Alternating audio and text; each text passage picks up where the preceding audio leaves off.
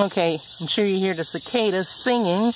It is hot. The mosquitoes are biting. It's only about 10 o'clock, but goodness, it sure is hot.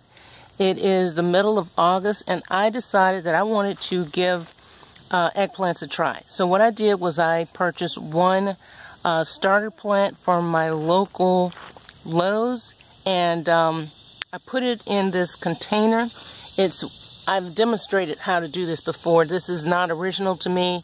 I had learned this actually from uh, Gardening with Leon, and uh, I'll put a link to where I actually did my variation of his um, of his system. But um, as you see, it is growing. So there's my little eggplant there. I'm super happy. And I realized when I was out yesterday that I'd never shown you any of my um, watermelons. Oh, in addition to the cicadas, the aircraft are out. So I'll probably get drowned out here in a little bit. They're doing the flight training. Um, but they actually did very well. And I'm harvesting the last of them, and I just thought to do it. I did the um, full-size Jubilee, um, and there was another variation of the large uh, watermelon. This is one of those uh, sugar babies, one of those little ones.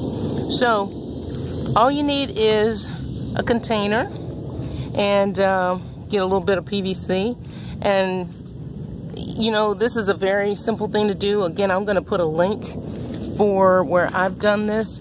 And I did notice right here a um, squash bug. It looks smaller than the ones I normally see on my zucchini but maybe it's just a baby. But it's gonna be dispatched nonetheless. Have a great day